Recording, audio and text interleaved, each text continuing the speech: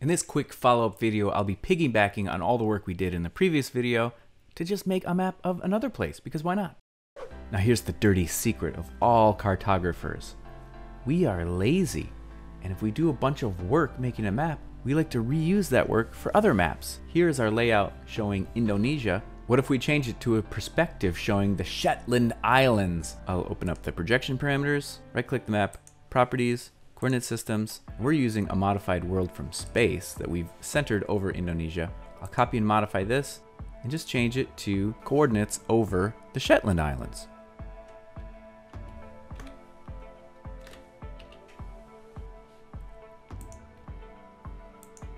Now I'll activate this map in the layout and navigate to our area of interest.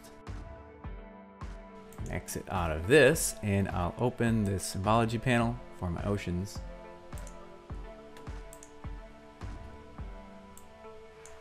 And play with this gradient fills distance.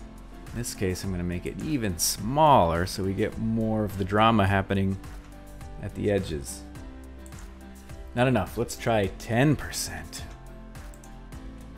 See what we've got. It looks great. I love this. Okay. Now let's change the perspective of our overview globe to also be centered on the Shetland Islands. I'll right click this, choose activate, and in this overview map, I'll open the projection properties and I'll modify this, copy and modify, negative 1.2, 60.3 north. That's far north. And I'll recenter this in my view. And in this case, maybe I want to zoom in some.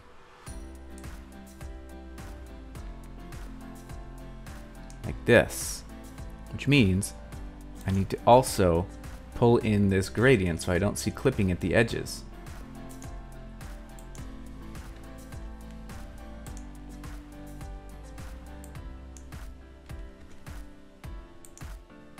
That looks pretty good.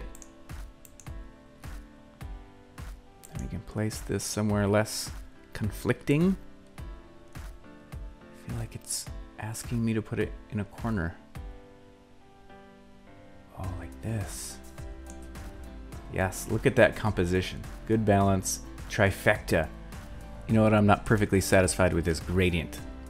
I'll activate this, choose this gradient, and I'll select this, and I want to modify this. Instead of just a very basic yes to no color scheme, I'm going to make it fade off more gradually. Just by adding intermediate color stops and seeing what we get. Much better. Ship it. Thanks for watching, you lazy, aka efficient cartographers.